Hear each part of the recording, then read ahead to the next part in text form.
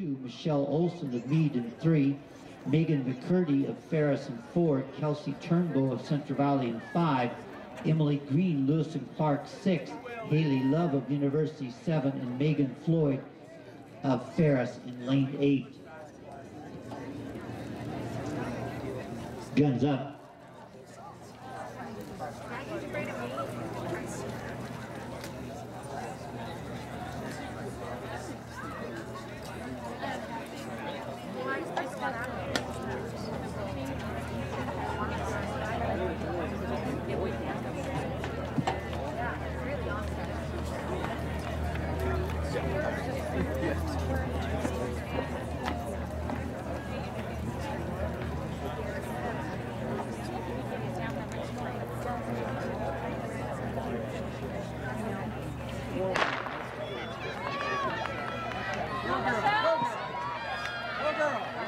Central Valley's Kelsey Turnbow, Megan McCurdy Ferris, Central Valley's Kelsey Turnbow,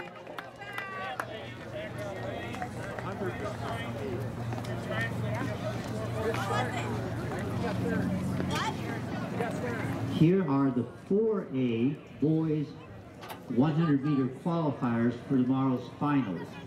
Alex Mosses of Mead, Jaden Russ.